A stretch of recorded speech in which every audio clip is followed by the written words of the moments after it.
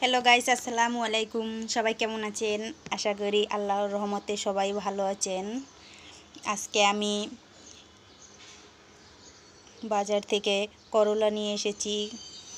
আজকে আমি করলা ভাজি করব। গরমের দিনে করলাই খুব মজার একটি খাবার। সেটা আপনাদের মাঝে আজকে শেয়ার করে দিয়ে দিব। এই দেখুন, আমি করলাটা কেটে ধুয়ে রেখেছি। একটু হলুদ গুঁড়ো নিয়েছি।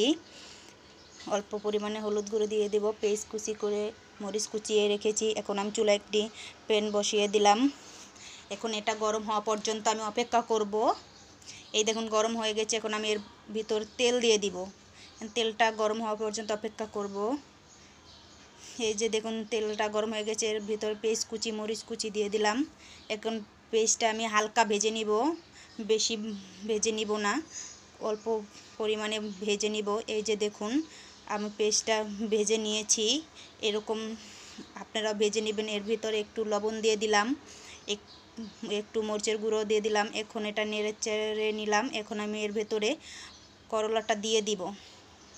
এটাকে আমি ভালো করে নাড়াচাড়া করে নিব। এই যে দেখুন, নাড়াচাড়া করা হয়ে গেছে। এখন আমি চুলার আঁচটা কমিয়ে নিব।